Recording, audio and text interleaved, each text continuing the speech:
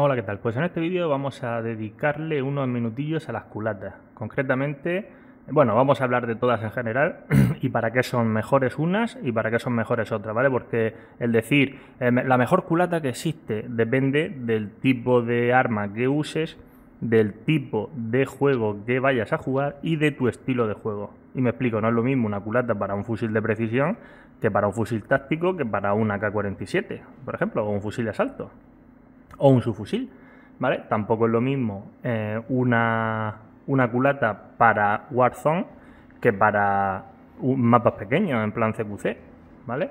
Y no es lo mismo, eh, eh, pese al tipo de mapa, si tu estilo de juego es más pausado, tampoco necesitas la misma culata que una persona que va más rush, ¿vale? Que va más agresivo, más corriendo por todos lados, saltando, ¿vale?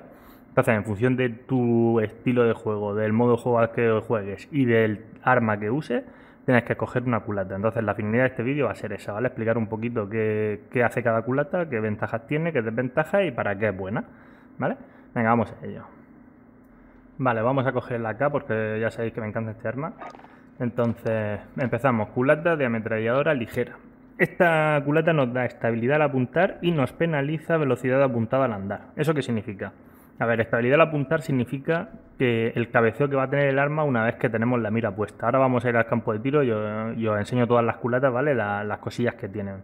A ver, estabilidad al apuntar, como decía, es cuando tú mantienes la mira puesta, eh, tu pulso, ¿vale? Y tu, y tu situación, si estás de pie, agachado, tumbado, lo que sea, pues penaliza o no, o potencia, o bonifica, mejor dicho, a cómo se mueve el, digamos, la mira en, tu, en tus manos, ¿vale? Por tu pulso y tal, con lo que decíamos. Entonces, la culata esta, como es una culata que acopla muy bien y tal, pues nos va a ayudar a, estabilizar mejor el arma y que se nos mueva menos. Eso en cuanto a la bonificación. Y velocidad apuntada al andar, eso ya tenemos otro vídeo en el que lo explicamos. En realidad lo que significa eso es la velocidad eh, que tenemos mientras apuntamos. Es decir, vendría a decir velocidad de andar al apuntar, en realidad. Eso quiere decir que cuando estás apuntando, sabes que hay muchas veces que apunta y el enemigo se te esconde y manteniendo la mira te mueves tú, ¿no? Para buscarlo lo que sea. Pues esta te penaliza eso. Con esta te vas a mover más lento. Repito, ahora lo veremos con ejemplo, ¿vale? Esta te, vas a mover más lento, ¿vale? Con esta mirilla. Perdón, con esta culata. ¿Vale? Venga, pasamos a la de armazón. Vale, la de armazón te da velocidad de apuntado al andar, que es lo que acabamos de hablar, ¿vale? Con esta te vas a mover más rápido mientras apuntas, ¿vale? Y velocidad al apuntar con la mira. Que eso es fundamental y es básico, ¿vale? Si eres un jugador agresivo. Eso significa el, tiempo que tarda la mira en ponerse eh, para ya empezar a disparar y, tarjetear al objetivo, ¿no? Lo que es apuntar, básicamente, pues el tiempo que tarda el fusil de asalto en ponerse en tu ojo para que estés apuntando ya, ¿vale? Eso es la velocidad de apuntar con la mira. Eso es fundamental si eres un jugador agresivo. Si tienes un. Eso es lo que normalmente se conoce como ADS, ¿vale? Desde el inglés. Eso eh, es lo, que más se busca en, armas, mm, yo te digo, en armas agresivas como sus fusiles, fusiles de asalto, incluso los, fusiles tácticos cuando quieres hacer kick scope, también le pone velocidad a apuntar con la mira. Y este nos penaliza estabilidad al apuntar, que es lo que comentábamos, se nos va a mover un poquito más, ¿vale? Eh, cuando mantengamos la mirilla puesta, pues se nos va a mover un poco. Eh, esta culata te... Bueno, ahora la comparamos con la otra, ¿vale? Yo os lo comento. Sin culata, bueno, pues obviamente como le hemos quitado la culata, nuestra velocidad de movimiento va a ser mayor porque tenemos un arma más, más pequeña, más liviana. Velocidad al apuntar con la mira, obviamente también, no tenemos la culata que nos va a entorpecer y que tenemos que apoyarnos en el hombro y tal a la hora de apuntar, con lo cual vamos a apuntar mucho, mucho más rápido. Pero nos va a quitar estabilidad de apuntar, no tenemos la culata que nos va a soportar el fusil de asalto, nos va a servir de punto de apoyo contra el hombro para mantenerlo fijo, digamos y además el control de retroceso. Obviamente, si no tenemos culata, tú piensas que el retroceso, el arma cuando dispara pega un, empujón hacia atrás. Si no tenemos culata para frenarla contra el hombro, el arma va a tener un retroceso bestial. Ya os digo que esto al principio estaba bueno, de aquella manera, era casi todas las builds tenían sin culata, casi todas las setas que se hacían. Yo de hecho en el canal tengo un montón, pero eh, con un parche que sacaron, no sé si recuerdo fue en el 1.23 o por ahí, penalizaron muchísimo el no llevar culata. Es decir, le pusieron que que la estabilidad al apuntar es brutal lo que te la penaliza. De hecho, ya no solo se mueve el cabeceo, es decir, no se te mueve la mira, eh, digamos, la cabeza tuya no te oscila hacia los lados, sino que además se te mueve también el cañón. Es una bestialidad. Y luego el retroceso que tiene también ya que prácticamente no compensa, salvo que sean sus fusiles y muy cerquita y tal, eh, yo no suelo usarla, ¿vale? Eso en cuanto a la sin culata. Eh, vale. Corta distancia FSS. Eh, normalmente siempre hay una culata en fusiles de asalto que te da velocidad al apuntar con la mira y te penaliza estabilidad al apuntar. Aquí prácticamente todo el mundo se va a esta, a la de armazón. ¿Por qué? Porque te da dos bonus, ¿verdad? Y te penaliza lo mismo que esta, ¿verdad? Estabilidad al apuntar. Con lo cual, tío, qué tontería, ¿por quién se va a coger esta, no? O sea, ¿quién se va a coger esta si tengo esta que me da dos bonus? Pues muy sencillo, por ese dicho que dicen, aprendiz de mucho, maestro de nada, ¿vale? Eso quiere decir que esta te da dos bonificaciones, pero en ninguna de ellas destaca. Es decir, te da velocidad de apuntado al andar, que ya os digo que es absurdo, o sea, yo para mí eso me parece absurdo, pero bueno, habrá quien le, venga bien. Y velocidad de apuntar con la mira te da menos que esta. Esta solo te da velocidad de apuntar con la mira, pero te da bastante más que la anterior.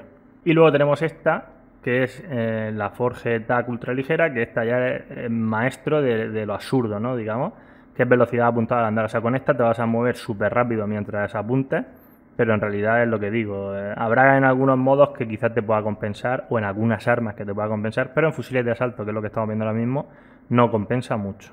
Vamos con los fusiles tácticos. Concretamente, esta clase es una clase que tengo para Kick Scope, ¿vale? Que ya sabéis que es el apuntado rápido, conforme apuntas, aprovechas la ayuda que te da la mirilla, ¿no? De apuntado que tenemos con mando y luego aparte la rapidez con la que se apunta y la precisión que tiene el primer disparo. Entonces, pues nada, aprovechas todo eso y sueles matar de un tiro por la potencia que tienen este tipo de armas. Entonces, ¿qué culata te compensa aquí? Ay, perdón. ¿Qué culata te compensa aquí? Pues esta, la de velocidad de apuntar con la mira, por lo que os digo, porque en este caso concreto me compensa, o sea, yo busco, y de hecho si, si os fijáis, esta clase lo que busca es potenciar eso, la velocidad de apuntar con la mira, prácticamente todo es velocidad de apuntar con la mira. Aquí le puse prestidigitación porque fue las últimas partidas que jugué fue en Sigmen y ahí gastas, balas a, esperamos como si no costaran. En el blog y en el canal tengo clases para Kickscope, ¿vale? No es, esa la, finalidad de este vídeo, es las culetas. Eh, esto en cuanto a fusiles tácticos, te digo, en función de, del tipo de arma y sobre todo del uso que le vayas a dar, pues te puedes coger una culata u otra. Aquí básicamente tenemos lo mismo, estabilidad al apuntar, velocidad de apuntado al andar y velocidad de apuntar con la mira. Ahora, caso en el que nos puede interesar la estabilidad al apuntar. ¿A quién le puede interesar eso? Pues a un francotirador, ¿verdad? Un francotirador sí que necesita tener, porque tú, el francotirador normalmente apunta una vez y ya mantiene la mira puesta mientras busca objetivos. Entonces, lo que te, interesa ahí, pues te interesa estabilidad al apuntar, es decir, que no se te mueva la mirilla, porque si se te mueve, y sobre todo en, fusiles de precisión de, cerrojo, que tiras el primer disparo y tienes que tirarte ahí un ratico para que se meta el siguiente, pues obviamente eh, tiene que ser one shot, one kill, como aquel que dice. O sea, no puedes fallar. Entonces, la estabilidad de apuntar es fundamental. Y luego, aparte, también podemos potenciar la estabilidad al apuntar y la estabilidad de apuntado al andar. Es decir, vamos a compensar también la estabilidad al apuntar, más todavía, y luego aparte la estabilidad de apuntado al andar. Eso es cuando, por ejemplo, sobre todo cuando estás en una guerra de francotiradores, ¿sabes? De un punto atrás del mapa, que te tienes que mover un poquito porque si no te van a reventar, ¿no? Pues estabilidad de apuntar al andar significa que mientras estás andando no se te va a mover tanto el arma ¿vale? Y, vas a ser más preciso. A ver, se va a mover, ¿no? Porque estás andando, obviamente, pero bueno, te potencia un poco eso, ¿vale? Y te penaliza la velocidad apuntada al andar. ¿De acuerdo? Entonces, en este caso sería uno, un ejemplo de, de, cuándo nos interesaría tener estabilidad al apuntar, ¿vale? Y ahora vamos a ver en el campo de tiro lo que, lo que os comentaba, ¿vale? De, qué significa cada, cada cosa ya en la práctica. Ya estamos en el campo de tiro, llevo el AK-47, fusil de asalto primero y ahora vamos a ver las culatas una por una, lo que os, he ido diciendo, ¿vale? A ver, tenemos la culata primera de, ametralladora ligera, que esta la que lo que nos da es estabilidad al apuntar. ¿Eso qué significa? Que, cuando yo mantenga apuntando, lo que decía antes, no se va a mover prácticamente. Entonces vamos a verlo.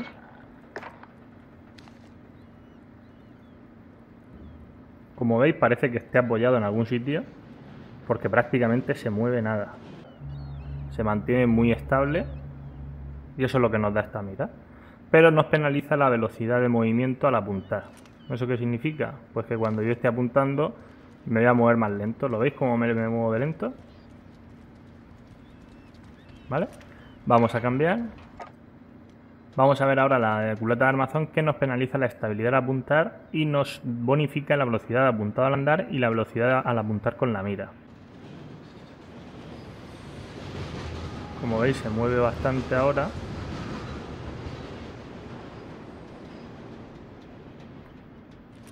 Y si me muevo mientras apunto, me muevo un poquitín más rápido. Aquí estamos con el sin culata, ¿vale? Eh, le he quitado la mirilla, ¿vale? De punto rojo para que veáis eh, lo que os decía, ¿vale? Si os fijáis, ¿lo veis que el cañón se mueve hacia la derecha? Ya, aparte de que me, mi pulso me mueva un poco la mira y tal, el cañón se mueve hacia la derecha, ¿lo veis, no? Eso antes no era así, antes se movía la, mira, pero se movía todo el conjunto a la par. Ahora han hecho que, el cañón también cizaguee, por así decirlo. Y eso te puede costar muy caro, sobre todo a media y larga distancia. Ese ángulo que te da de tiro puede hacer que falles el, eh, pues la ráfaga y te cueste la vida.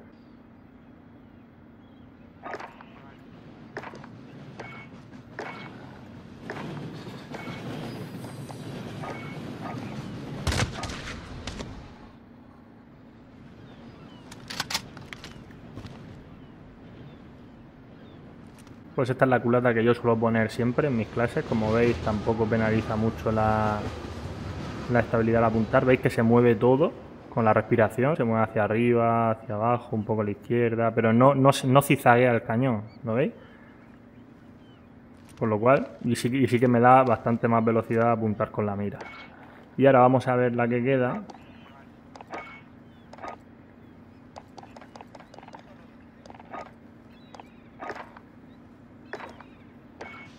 es esta. Pero antes quiero enseñaros también la velocidad de andar, ¿vale? Para que la comparemos ahora.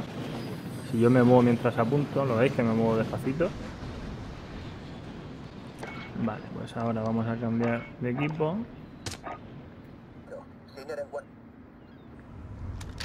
Y ahora si apunto y me muevo, veis que me muevo más rápido, ¿no? Pues es eso. Esta culata nos da al ser ultra ligera, pues nos da velocidad apuntada al andar. Pero nos penaliza, bueno, nos penaliza, no nos bonifica la velocidad de apuntar con la mira, con lo cual va a tardar más en ponernos la mira a la hora de apuntar, pero si en algún momento dado tenemos que movernos para buscar el objetivo, lo vamos a tener más fácil porque se va a mover más rápido. ¿Vale? Esa es la diferencia. Y hasta aquí este vídeo. Si os ha gustado, dejadme un buen like, suscribiros al canal para más contenido y nos vemos en el próximo. Adiós.